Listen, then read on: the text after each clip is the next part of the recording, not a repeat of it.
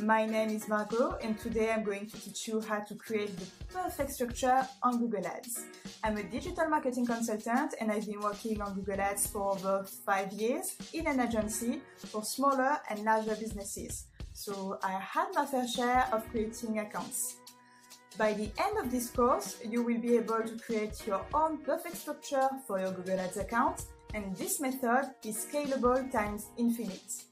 What you will learn is how to create the perfect structure for a retailer and for a service company, and how to organize campaigns and ad groups within it.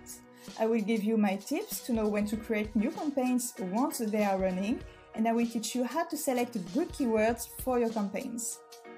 Whether you're a business owner who had bad experience on Google Ads in the past, or a new entrepreneur who wants to try Google Ads for the first time, or even a marketing professional looking to improve your skills on Google Ads, this class is for you. I will try not to go too far into technical details, but before you enroll, you should definitely know about bids, CPC, target location, and bidding strategies. Not know everything at a very advanced level, but just enough that you understand already how it works. But then again, if you're a beginner and you just want to get off a good start, your journey begins here.